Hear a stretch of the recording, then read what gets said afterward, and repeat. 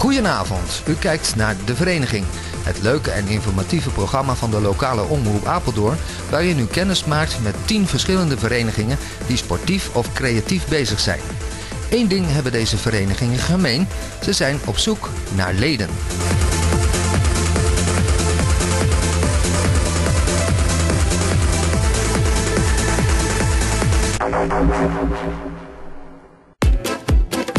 Vanavond zijn we eens een keer niet over de vloer bij een vereniging, maar gaan we met deze gezellige club mensen de straat op. Jazeker. In dit dorpshuis in Oosterhuizen zetelt namelijk de Klootschietvereniging. En daar gaan we straks heel veel van zien. Maar eerst gaan we naar Leni, want die staat met twee bestuursleden. Naast me staan uh, Gerrit van Beek. Gerrit, jij bent de voorzitter van de Klootschietvereniging. Jawel. Heeft jullie vereniging ook een naam? Dus de Klootschietvereniging Oosterhuizen, anders niks. Oh, dat is hartstikke makkelijk. En uh, bij me staat ook Henk de Boer. Henk, jij bent de secretaris van de club. Klopt, ja inderdaad. En hoe lang bestaat de vereniging al? Nou, officieel uh, zeven jaar. Maar kijk, hier staat dus op 1993. Omdat er vroeger dus allemaal diverse verenigingen hier in Oosterhuizen waren die allemaal samengevoegd waren. Maar we zijn dus zeven jaar geleden dus gesplitst en we zijn een zelfstandige vereniging. En waar komen die leden allemaal vandaan? Uit Oosterhuizen of ook nog uit de omgeving? Uit Beekbergen, uh, sorry, Klarenbeek. Ja, je ging op mijn voet staan. Ja, daarom zeg ik sorry. uit uh, nou, Beekbergen, Klarenbeek, Lieren, Apeldoorn. Ja, verder niet denk ik. Loenen nog. En hoe groot is jullie vereniging? Hoeveel leden? Plus minus 35 leden. 38. We hebben zeker pas drie nieuwe bijgekregen. 38. En zijn jullie daar tevreden mee Henk? Of heb je zoiets van nou, er kunnen nog meer bij? Nou, we zouden wel graag wat nieuwe leden erbij willen hebben. Vooral omdat de vereniging of wat ouder zijn. Dus diverse mannen die al in de 80 zijn. Die toch nog actief zijn en meegooien. Maar uh, ja, uh, we weten allemaal dat er op een gegeven moment een keer een end aan komt. Dus we zouden wel graag de vereniging wat willen verjongen. Als iedereen er is en iedereen staat ook op zijn eigen teentjes, kunnen de teams samengesteld worden. En dat wordt nu gedaan. En terwijl de teams worden samengesteld, heeft Leni nog een prangende vraag. En, uh, en wat voor soort kloten heb je dan? Nou, we hebben dus... Uh... Ja, ik vind het zo raar om te vragen, maar het is nou een keer zo. Het is nog zo. Uh, hij heet zo en het is een echte kloot. En het is een klootschietvereniging. En het is dus een kunststofbal waar dus lood in zit. Maar je hebt ook houten ballen waar ze dus ook mee kunnen gooien. Want met uh, lood erin, officieel vanwege de milieu, mag dat officieel niet meer. Maar wij doen het dus hier nog wel. Maar je hebt ook inderdaad toernooien waar je dus niet met die ballen mag gooien niet. En jullie spelen op straat, zou ik maar zeggen. Waar, ja. waar spelen ze nog meer? Uh, uh, waar doen ze nog meer klootschieten? Uh, in het veld? Of, oh, oh. Nee, nee, niet altijd op verharde wegen of, of bitumenwegen. Maar in ieder geval, anders wil die bal niet rollen. Hè? Dus je moet wel een harde ondergrond hebben. Maar je hebt ook wel eens een grindweg ertussen zitten. Maar ons parcours is hier allemaal uit uh, teerwegen. En hebben jullie allemaal um, um, een beetje de, de, dezelfde kloten, zou ik maar zeggen? Nou, nee, je hebt ze ook in verschillende diameters. Want uh, de dames hebben over het algemeen iets kleiner. Kijk, uh, mijn collega die wijst er hier al wat aan. Dus uiteindelijk, uh, de diameter is dus verschillend.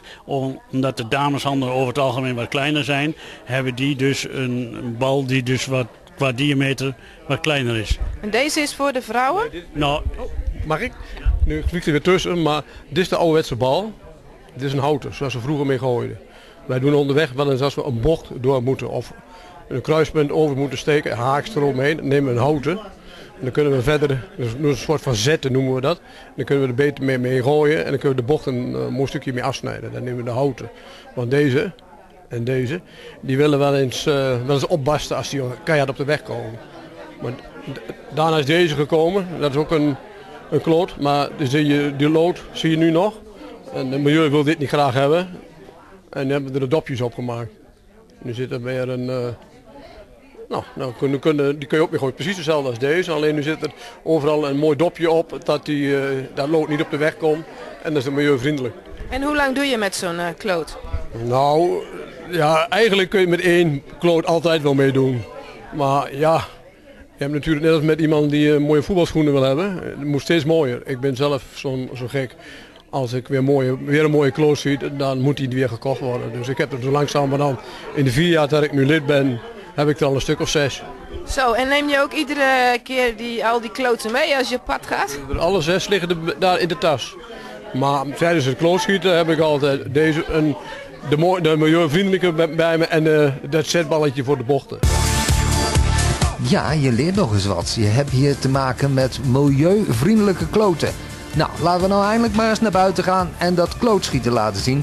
Want daar doen deze dames en heren iedere week hun best voor.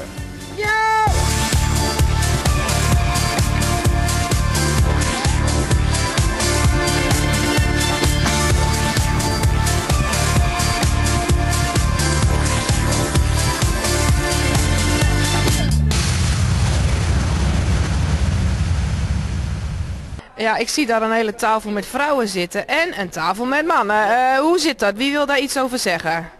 Nou, we zijn al een eh, jaar of twee, drie bezig om dat uh, gemengd te krijgen, maar dat lukt niet. Het is van vroeger ingegroeid waarschijnlijk.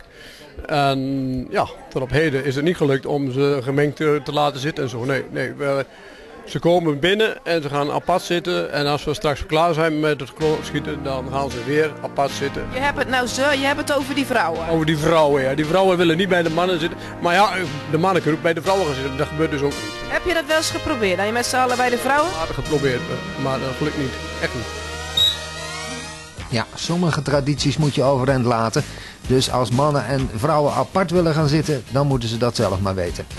Klootschieten is, en dat weet u misschien niet, het oudste balspelletje van ons land. Al in de 15e eeuw werd dit balspelletje gespeeld. En volgens historici zou dit van het Germaanse spel steenwerpen afkomen. Waarom vind jij klootschieten zo leuk?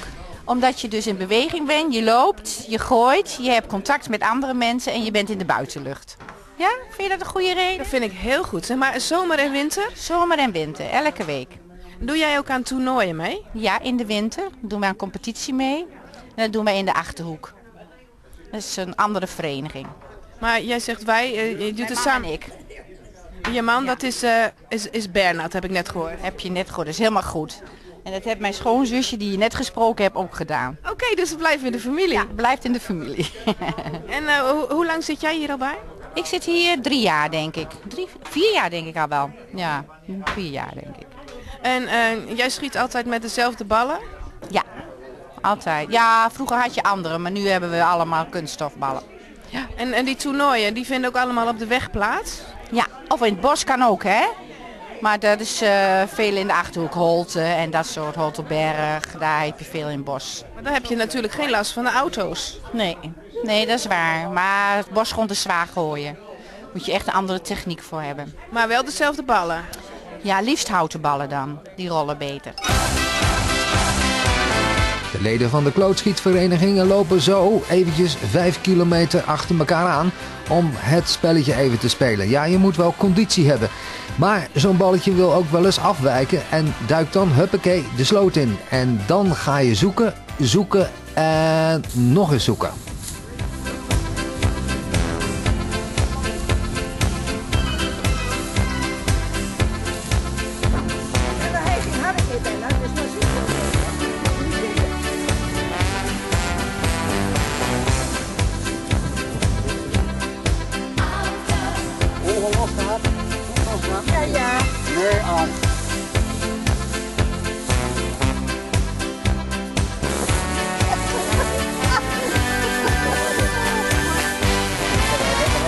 Nee, een bal.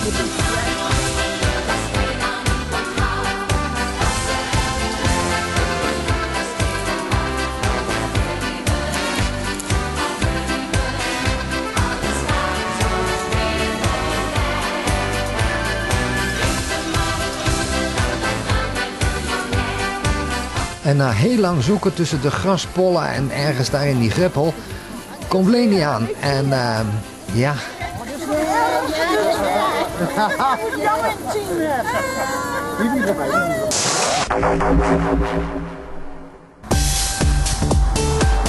als paard en wagen en auto's en dat soort gezelligheid eventjes van de weg weer af zijn... dan kunnen de dames en heren weer verder met het potje klootschieten.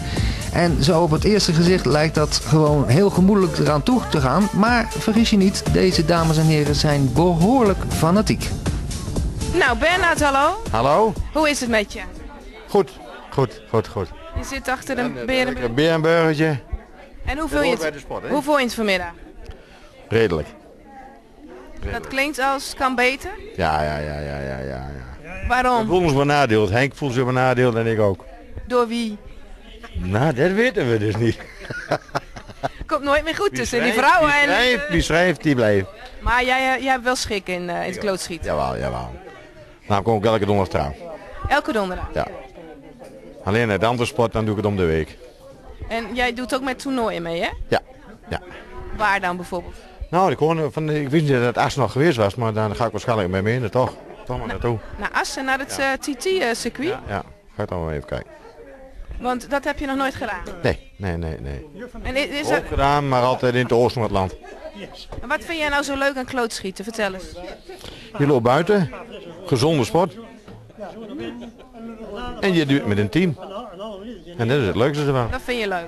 Vind ik leuk, ja. ja. En na die tijd even gezellig zitten. Ah ja, dat hoort erbij, hè. Dat hoort erbij. Dat hoort erbij. Maar jij doet wel aan heel veel toernooien mee, toch? Ja, zoveel als ik kan, ga ik mee. Maar hoe lang doe jij deze sport al? Bij hier, hoe lang ben ik hier, eh Lammert? Nee, langer.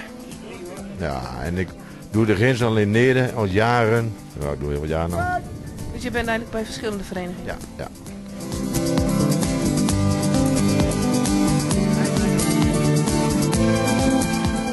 Klootschieten is een sport die voornamelijk in het oosten van ons land wordt gespeeld. Toch wint dit oude spel steeds meer terrein. Zo wordt er ook in de provincies Overijssel en Friesland een aardig potje klootschieten gedaan. Ook is het klootschieten razend populair bij de vele bedrijfsuitjes geworden.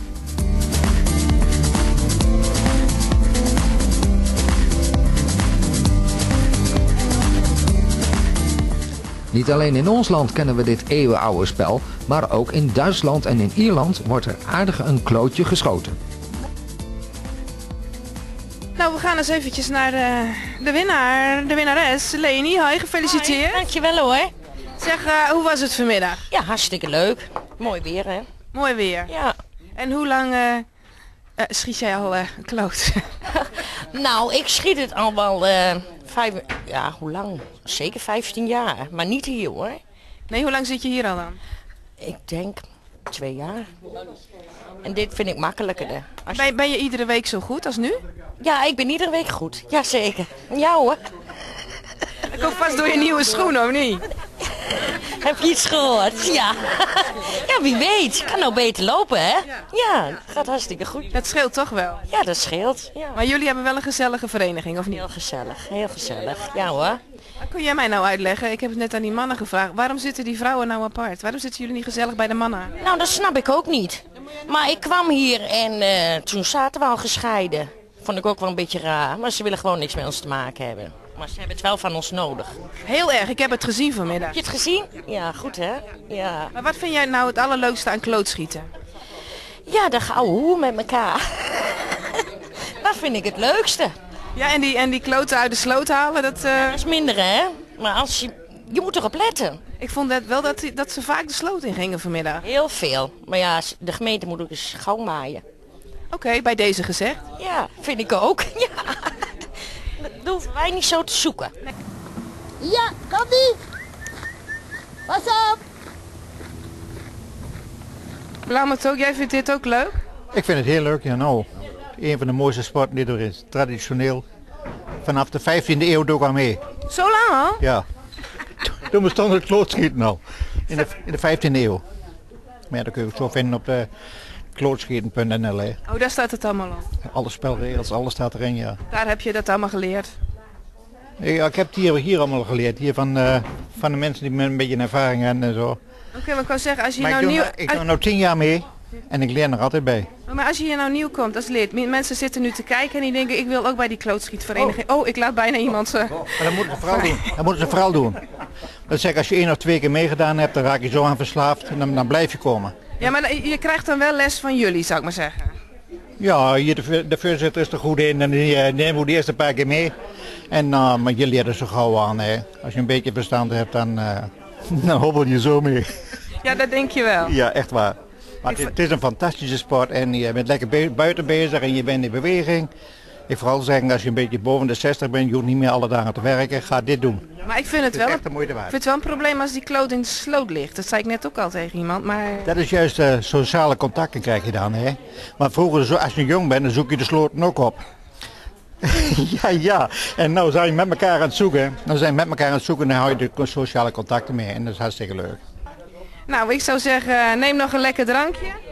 Ik drink niet. Oké, nou of iets anders. Ja, ik zal koffie nemen. Ja, en eh, nou laat nog... over aan de medemensen drinken. Wat zeg je? Dat laat aan de medemensen drinken. Oh, nou, ik zou zeggen, veel plezier nog. Dankjewel hè meisje. En tot zover deze aflevering van de vereniging. We waren over de vloer, of liever gezegd over de straat, bij de klootschietvereniging Oosterhuizen. Over twee weken komen we weer terug met een nieuwe aflevering. En dan zijn we ook weer bij een vereniging die van schieten houdt, maar dan van foto's. Nog een fijne avond, dank voor het kijken en graag tot de volgende vereniging.